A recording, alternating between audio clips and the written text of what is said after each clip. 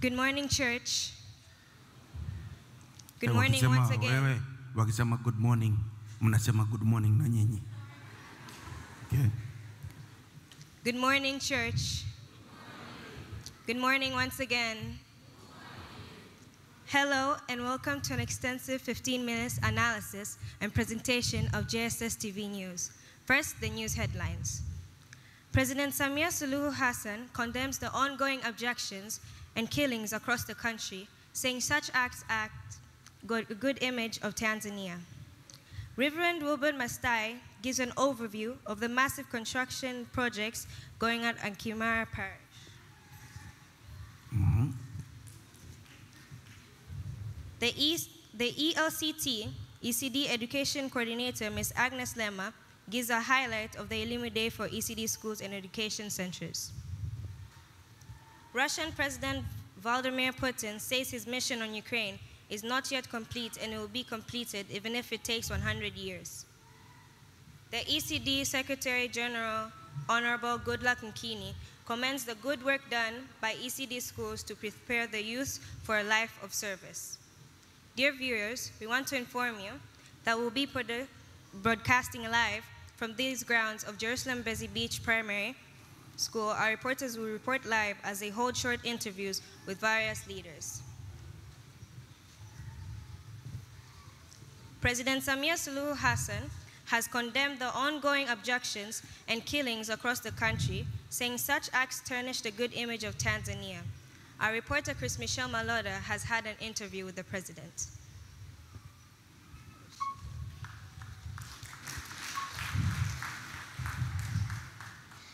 Dear viewers, it is a privilege for me to have gotten the opportunity to talk to the President of the United Republic of Tanzania, Her Excellency Dr. Samia Suluhu Hassan, matters on national interests, especially this time when there are lots of things going on in our country. Your Excellency, Madam President, recently there have been reported cases of abductions and killings in our country. As the president, I believe this thing disturbs you and gives you no peace at all. What do you have to say about the same? As the President of the United Republic of Tanzania and the Commander in Chief of all armed forces, I honestly condemn the perpetrators, and I'm sure that anyone who is involved in these abductions and killings is not only aiming at tarnishing the party's image, but also threatening the peace, unity, and tranquility.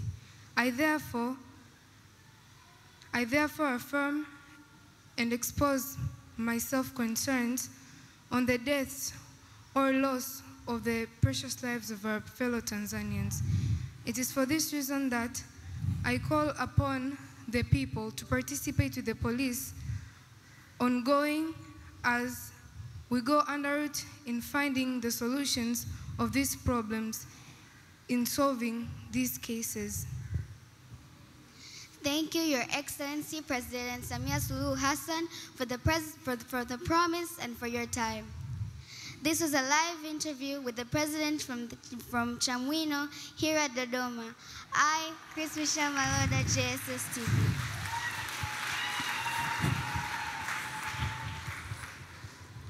Thank you, Chris Michelle Maloda. Reverend Wilbert Mastai has given an overview of the massive construction projects going on at Kimara Parish. Our reporter Lina Agre has more details on the story.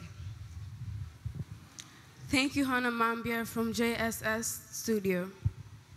Dear viewers, I am today fortunate to have with me the man of God all the way from Kimara Parish in Salaam. This parish is known for its powerful proclamation of the Word of God and massive construction of various projects. Dear viewers, it happens day and night, 24 7. Praise the Lord, Pastor Masai. Amen.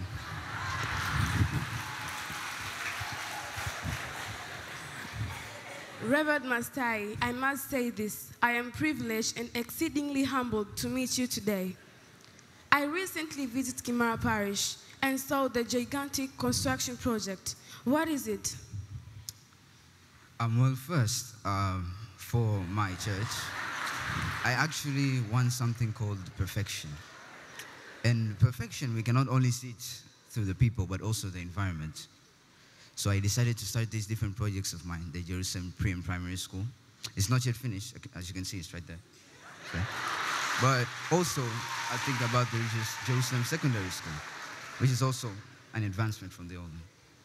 Um, yeah, indeed, you're really correct. And I didn't, I didn't only see the gigantic construction project, um, I also saw a hospital. Can you please tell us the philosophy behind the hospital? Ah, uh, yes. For the hospital, first I was thinking of making it a small polyclinic. Then something popped in my mind, and I was like, no, I should make a major hospital. So if the money is there, then why shouldn't I just make a bigger one for the people around? You can see the advertisements for the Charity of the Labor Ward. That's part of the hospital. And I believe um, in my life, I know you're not only a pastor, but also director, right? Yes. Um, I believe that a person with a kind of occupation like you, you must have a strong vision and a mission. Can you please explain the vision and the mission you have for the schools? For my school, there's a slogan of mine that is called 3A.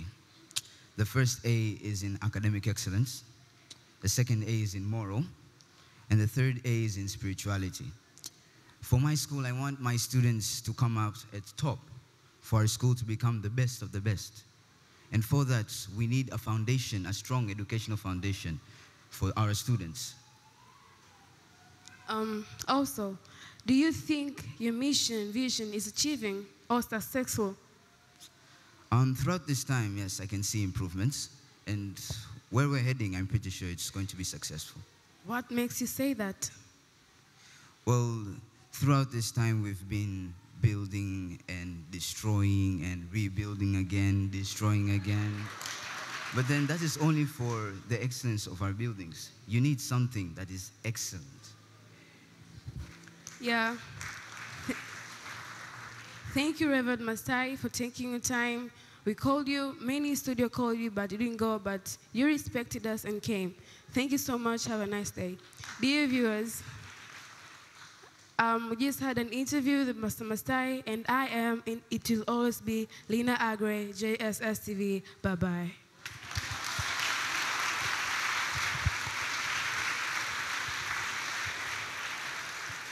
Thank you, Lena Agre. The Russian President Vladimir Putin has said that his mission on Ukraine is not yet complete, and even if it takes 100 years. Earlier today, our JSS TV News reporter Albiel Albert held an interview with President Putin in Moscow.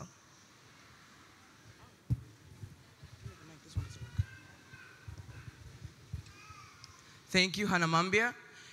Dear viewers, here with me now is the rare and exceptional chance to meet the Honorable Russian President, Mr. Vladimir Putin. Good morning, sir. Good morning. As we all know, there has been an ongoing crisis going on between you and Ukraine so far. Now, we all hear that you have very big plans for this. Can you explain to us the history of this thing or crisis or disaster that's been going on between you and this country? Uh, first of all, people think I am crazy to like start a war with Ukraine, but they are the ones who started it because Ukraine were planning to form an alliance with NATO and the US. We were apart, we were USSR. Then they left us. Then now they want to join NATO. You know, viewers, try to imagine you are left, then they want to join someone who is your enemy, which means the enemy will bring their armies to their camp, and uh, on our border, we'll be at risk of getting attacked by the US, by NATO. So our security uh, won't be at its highest level. Yeah. Wow, thank you for the brief remark and history about that. Um, what can you tell us about the plans for this, for this plan? What can, what can you tell us about the plans for you and this country? My plans are direct and are clear. Obviously, I, we have been in a war with Ukraine. I don't hate them, but they started the war. So yes, I hate them. So my plan is I just want to destroy Ukraine or to punish them in such a way that they won't come back. Because every day I sleep, every day I wake up, I check my list of problems, and number one is Ukraine. They still exist. This makes me really angry as Vladimir Putin. So, as the president of Russia, I promise Russians and I promise the world no one will get into my way of what I'm going to do with Ukraine. Your determination has been acknowledged, but there's one question that all the viewers are dying to know how they've been asking themselves. Are you really ready for the risks or the outcomes of this war between you and this country? Excuse me, you said, Am I ready for the risk? This war has been going on for two years. So if you think I haven't been taking enough risk, then you don't know who I am. First of all, first of all, yes, I am ready for the risk. And second of all, the whole world, it doesn't matter the US or United Nations, is going to know who I am after I'm done with Ukraine. The confidence is very endearing. Well, viewers, that is all from here. My name is Abel Abatum Kongwa, live from Moscow, JSSS TV News.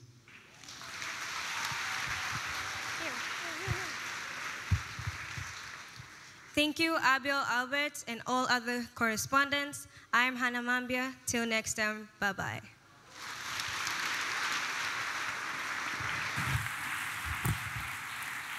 Okay, thank you. So now we have uh, Bible verses recitations. Who is doing that? You yourself or some other people? Call them. Call them on. Walikuwa wanasoma taarifa ya habari kwa sababu wengine hata mwelewe kinachoendelea hapa.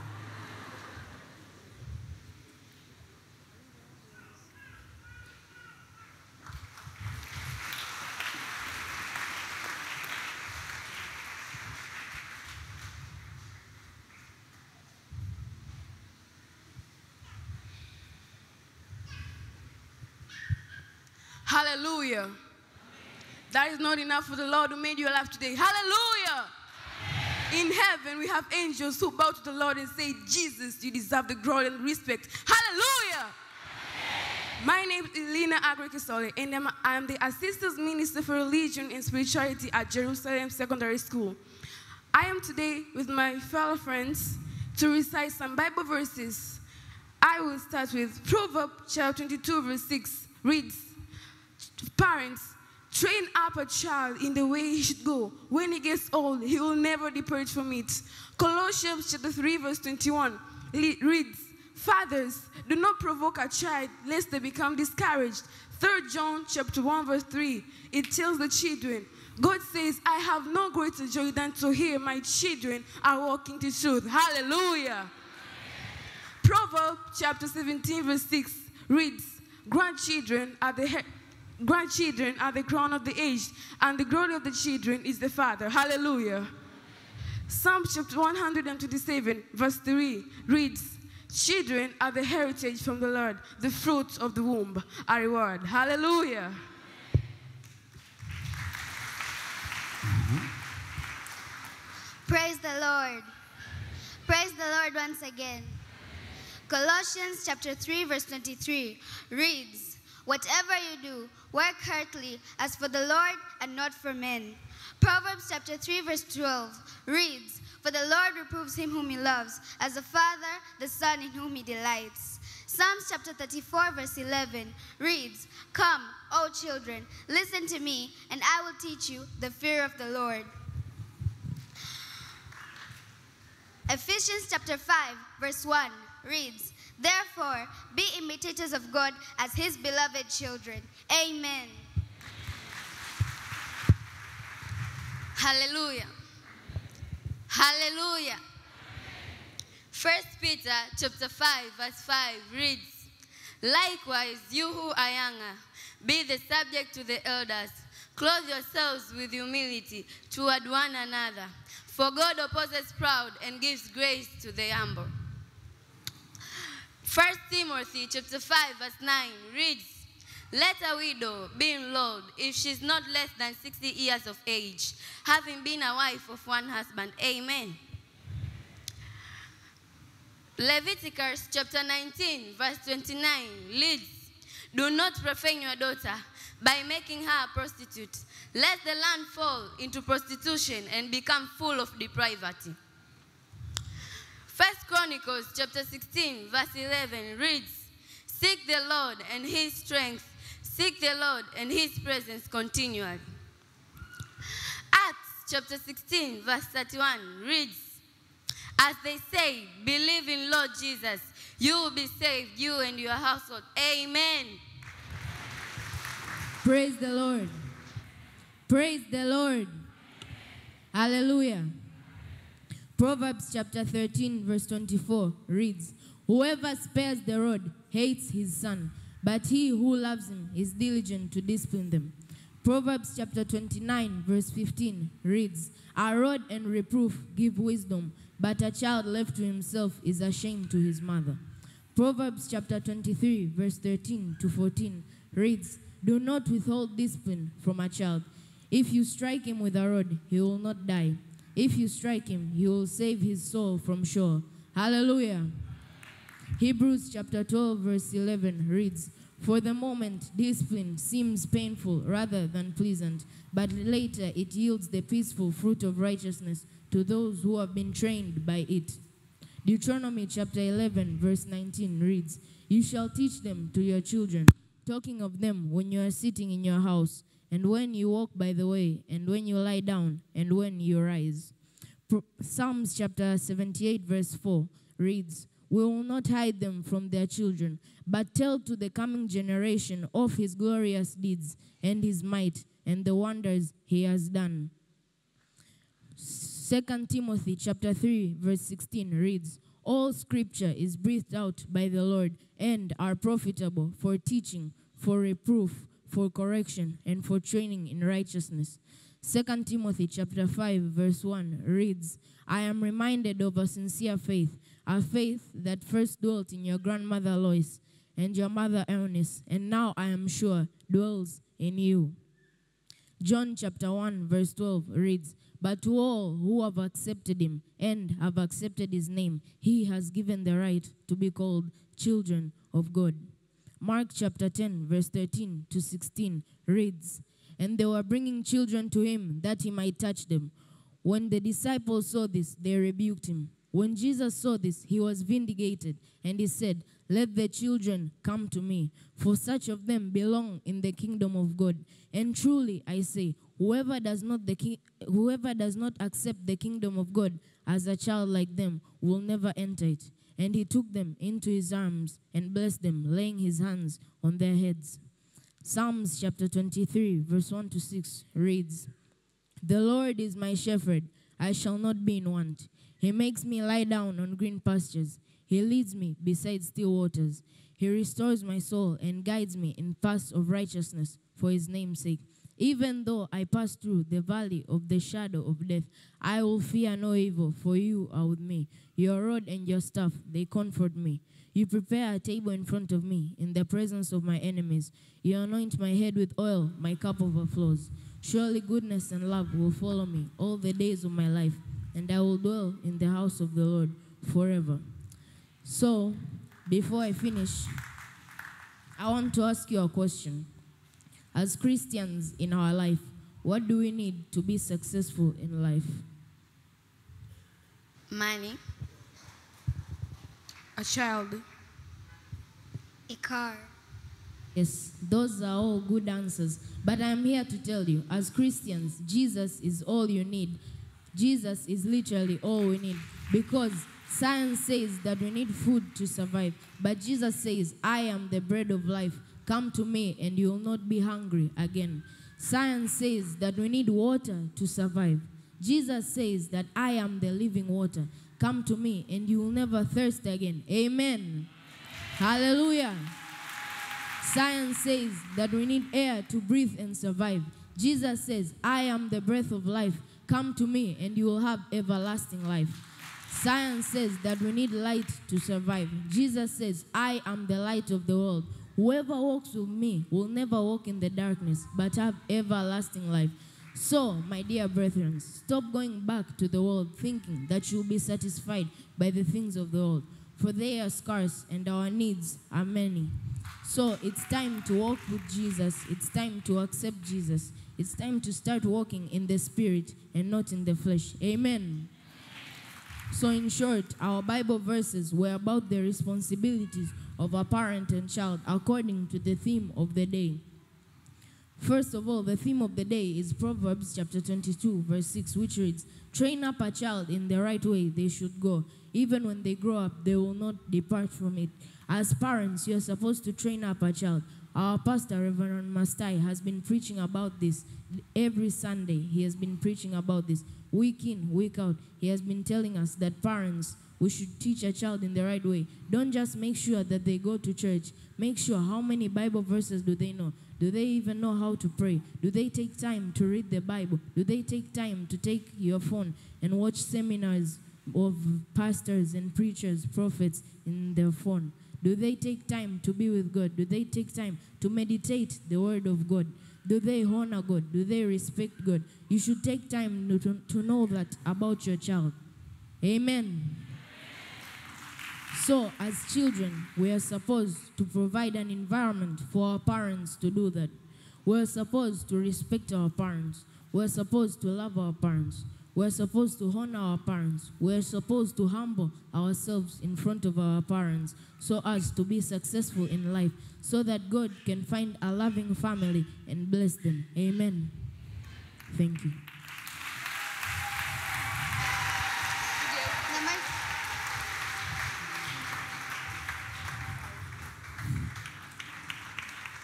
Wonderful, wonderful, wonderful. You're great. So, those uh, news, Bible verses, public speaking. Did you do both? Did you do Bible verses and public speaking? Or should, uh, okay, the public speaker is on his way. Give him a microphone. You're doing the public speaking? Yes, sir. Go ahead. Praise the Lord, church. Once again, praise the Lord, church. Before I begin my speech, I would first of all want to thank God for allowing us children who have not presented yesterday while we were invited to the Lim Day event. And also to thank Pastor Mastai for giving us another chance to show our talents and our things because we took a lot of time for the preparation. So can we all just clap hands for Pastor Mastai, please? Yes, please. Okay, now I shall begin my speech. You see, I'm here before you today to express my thoughts and feelings about the tragedy of Africa. First of all, you must be wondering what tragedy do we have for us for me to be talking about. I want to let you know that this tragedy has not only been there, but has been underway for a very long time and has actually gone unnoticed or just ignored. This tragedy of ours happens to be our dependence on the, our former colonizers, Europe and America. You're probably wondering how. Imagine this our past heroes, Nelson Mandela, Julius Nyerere, how would they think? What would they feel if they saw that their seamlessly endless struggle for freedom was all for nothing? You are probably wondering if what I'm saying is true. Yes, it is. This is how. First of all, have you noticed how ashamed of ourselves we are? Do you want to know how? This is because that we have been brought up in a colonialist mindset that forces us to take shame instead of feeling pride for our own African cultures and customs. For example, a person may prefer hamburgers to having rice and beans for dinner. Or potatoes can be fried in Dar es Salaam, but they can still be called French fries in the end once they are served. It's even reaching a point where African names are becoming shameful. A person called Olugaba, which is an original, Latin, uh, an original Nigerian name, by the way, can be laughed at more than a guy called Stephen. Because a person called Stephen or John, they find it as a normal name instead of, some, instead of a name from African origin. Another thing is our universities and our educational institutions are being overlooked. Nairobi, Dar es Salaam, Johannesburg, these are big cities with very big universities, but for some reason we are being overshadowed by international colleges like Harvard, Yale, Princeton, and others. A young African who has finished secondary education can dream about going to fly abroad and study when there is so much to see and learn right where he is.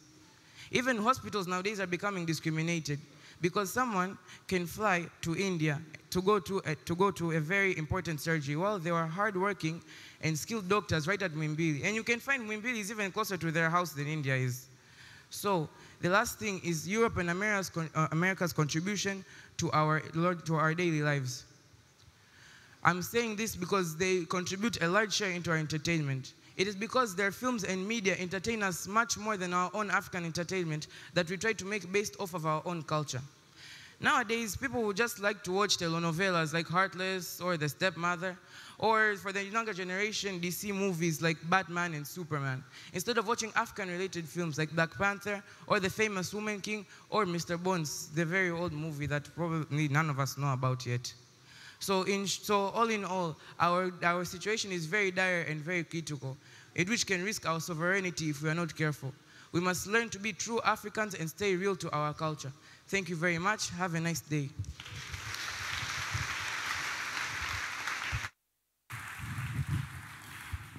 So that was public speaking. Beautiful.